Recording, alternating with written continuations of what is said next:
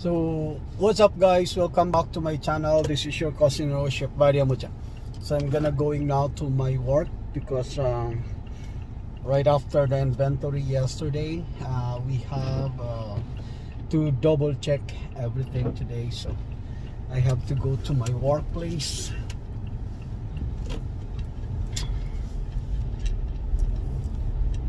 So, just uh, bear with me guys because it's so slippery now and snowing. So we have some snowflakes in here. So as you can see some snowflakes. So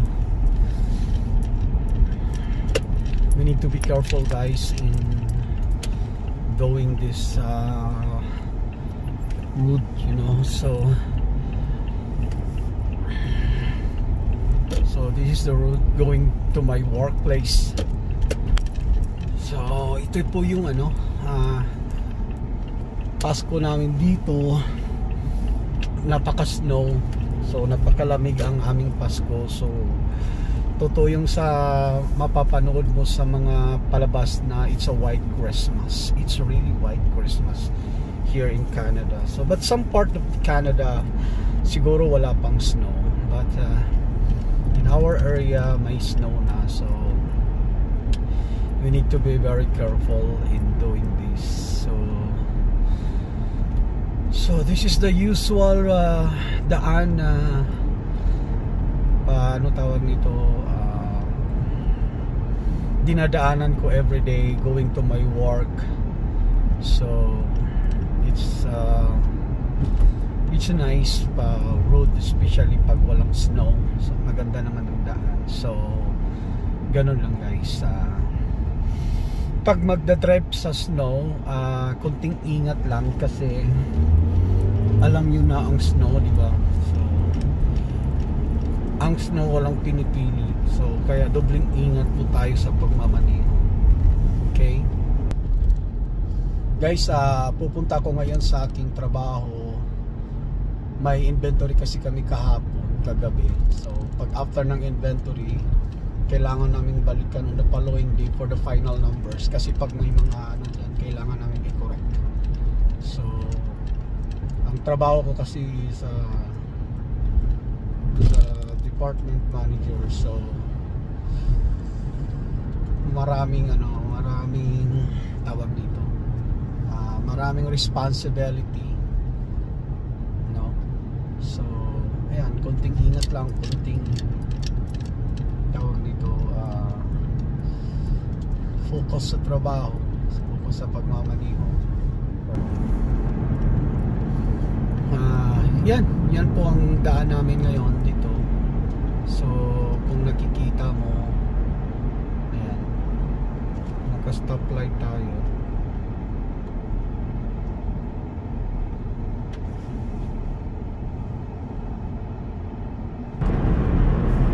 Right guys, so malapit na tayo ngayon sa ating pupuntahan sa aking workplace. So nasa daan tayo ngayon guys. Ito po yung daan namin dito.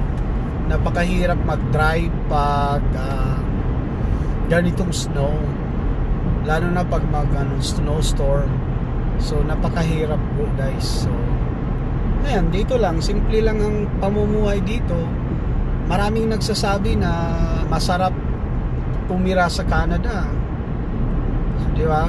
Oo, totoo yun. Marap sarap. Ang sarap ma tumira sa Canada.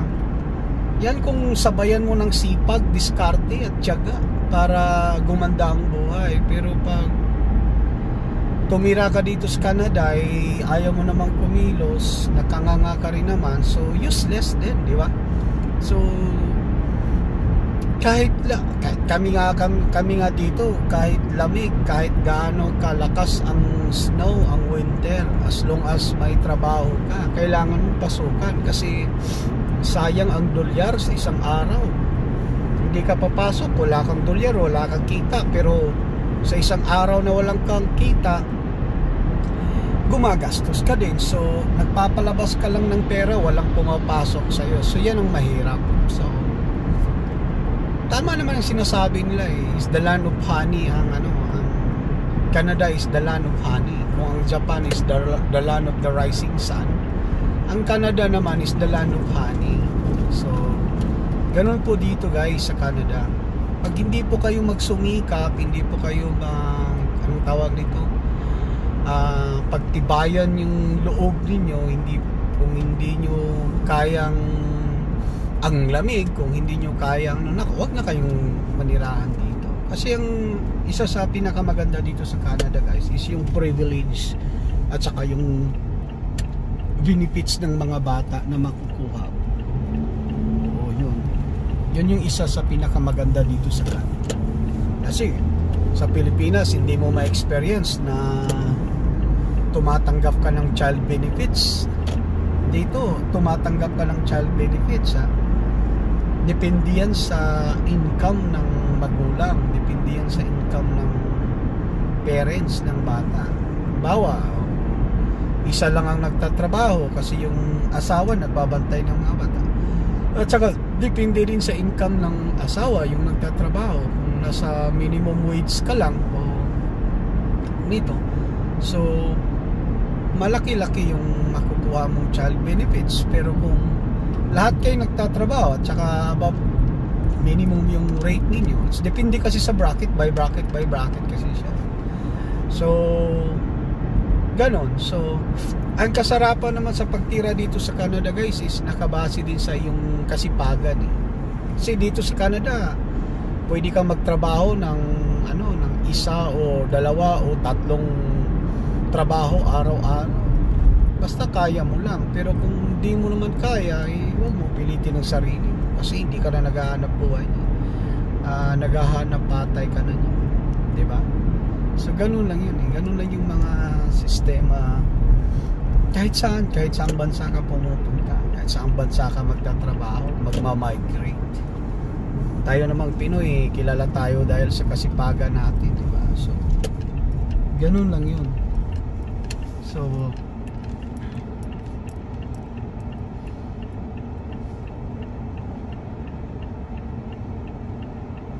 iba't ibang rule tayo, may iba't iba tayong pamamaraan kung paano tayo mabuhay. Di ba? So, ganun lang yung guy. Kung gusto nyo namang mabuhay ng batiwasay or ano tawag nito? Mabuhay ng masagana, ayan, kailangan mo magsumikap. Kung ayaw mo naman magsumikap, o hindi hanggang doon ka na lang. Kasi alam mo guys, ang dami din ditong mga homeless, mga jobless, mga ganun. Kaya pag certain na napakaswerte mo na pag nandito ka sa Canada tapos may trabaho ka, dalawa o tatlo ang trabaho. Kailangan mo na magpasalamat dyan sa Diyos. Oo, kasi alam mo, hindi naman yan binigay sa'yo ng ganun-ganun na lang kasi pinaghirapan mo rin eh, di ba? Maliban na lang kung mayaman ka talaga. Kung mayaman ka talaga, eh, di good luck sa'yo. Good for you kasi hindi mo na kailangan maghirap dito sa Canada. Pero kung kailangan naman talagang mag, uh, magsumikap, magsumikap tayo para mabuhay, para umangat at umasinso. Ganun lang yun.